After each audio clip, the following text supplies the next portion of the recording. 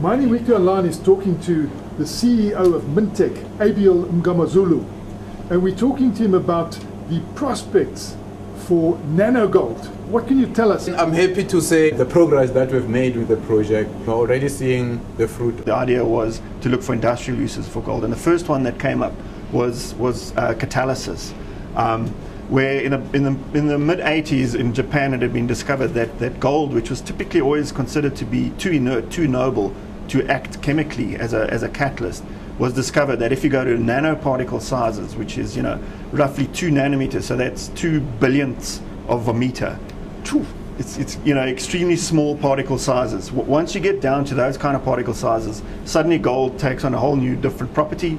For example, you'll see that it's no longer gold colored, it's purple, wow. changes color. Uh, and then it becomes active as a catalyst. We have been focusing mainly on using gold nanoparticles, in particular for cancer therapeutics. Um, and then also for obesity research. Gold nanoparticles can be used as a fat reducing agent.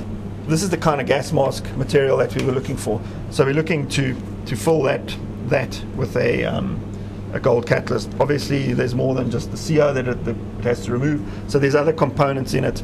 And uh, this was what we developed in, in conjunction with the Spiritech was, you know, the layering of these materials. And for example, there you can see some, some um, activated carbon. So there's a number of layers in here, plus the gold catalyst layer, to, to um, function as a, as a, a, um, a fire escape gas mask. CO2 lasers, for example, um, in a CO2 laser, as, as, the, as the laser um, functions, the CO2 breaks down into carbon monoxide and oxygen.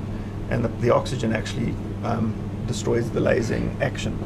So there are catalysts in those in those lasers to convert the CO plus oxygen back to CO2.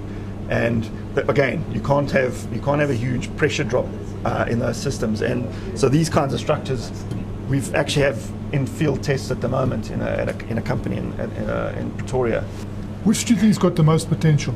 In terms of market size, um, I, I, would say it's, it's going to be um, it's going to be the CO oxidation uh, type. So, so the gas masks and the confined space type environments, which are which um, are coming into to play at the moment. We actually had a a, um, a, a request for a quote for three 300 kilograms this year from a company um, that's that's been developing these systems. Um, so they've now moved a little bit beyond um, development uh, and into actual markets. We have got the malaria rapid test. With the nanotechnology, we find that you are using gold as a label. This, this is really our first success. We're looking at gold uh, on titanium. So you're looking at this kind of material. We are developing test kits.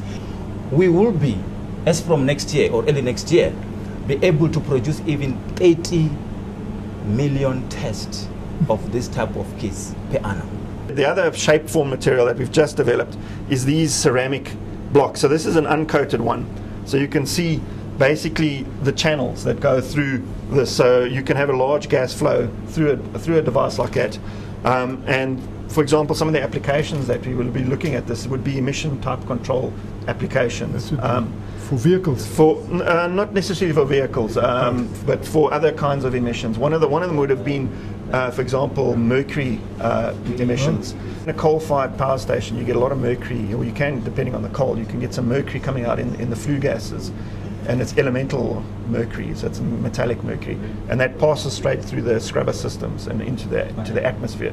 So there's obviously a lot of legislation, particularly in the US, coming around to control to control that that mercury, and it was discovered in the US that that over gold, if you flow that mercury over gold in the oxygen environment, you get oxidation of the of the mercury, and then it can be subsequently scrubbed out.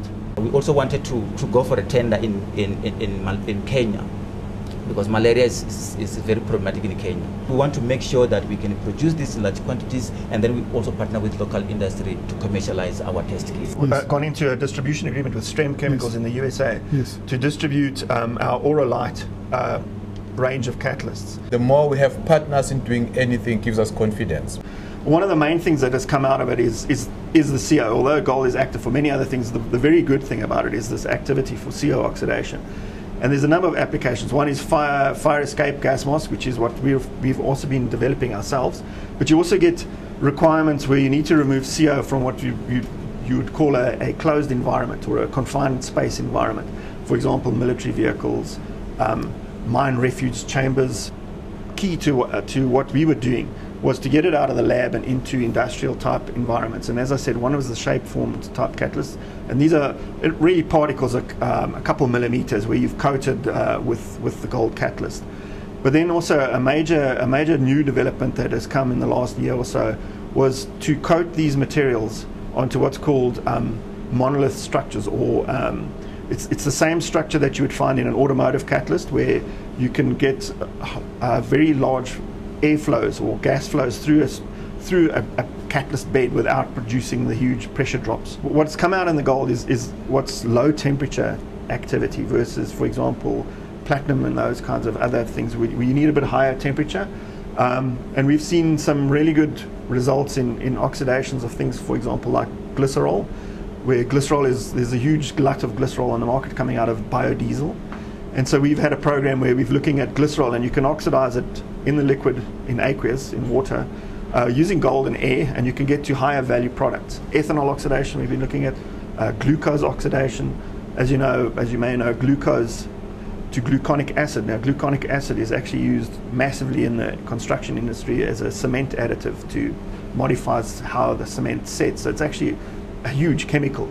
So, you know, for gold to break into that kind of thing with, with quite, instead of these fermentation type processes, which, which is not easy uh, chemistry or processing to do, you could go to a, simply a solution where you, you add the gold, add glucose, bubble oxygen through it, and you get the gluconic acid. Around 1998, early 1999, the gold price was hovering at about 300 US dollars per ounce or even lower than that. I remember that pain there was that pain, and uh, some of us, fortunately, were part of trying to resolve that problem. In the sense that, if you remember, for the first time the country had the crisis, they had, had a very serious crisis, and a crisis committee was formed. It started in 2000. As I'm speaking today, it's only Mintek that's continuing with the project. You mentioned that you, you had growing optimism. What is giving rise to that? When we started, we started with partnership with the mining companies. Now we're starting to have partnership with product developers. There's a big potential.